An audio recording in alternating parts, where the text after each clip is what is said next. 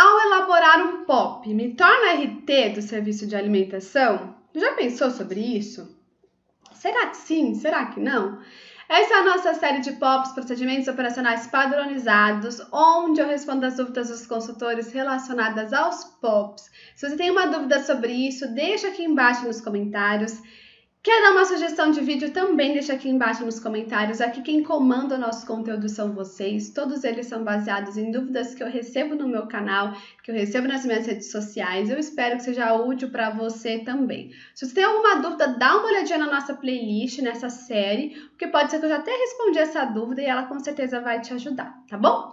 Então vem comigo que nós vamos falar sobre responsabilidade técnica e POPs.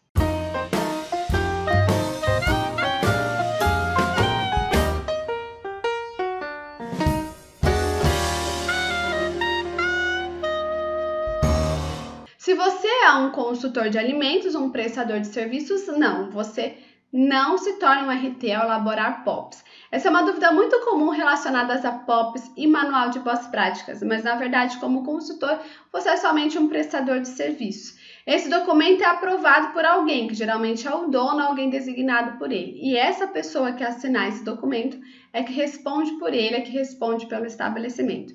Então fique tranquilo, você não vai se tornar o responsável técnico do restaurante, da padaria ou da lanchonete que você elaborar os POPs. Você é somente a pessoa que elaborou porque o dono o gerente ou os responsáveis pelo local não sabiam elaborar esse documento sozinho.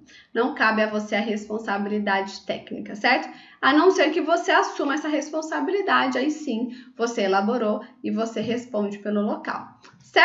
Espero ter te ajudado. Não se esqueça, se inscreva no nosso canal, dê o seu joinha, clica lá no sininho e receba todas as novidades do nosso canal. Toda semana tem vídeo novo para você. E claro, deixe a sua sugestão de vídeo aqui embaixo também.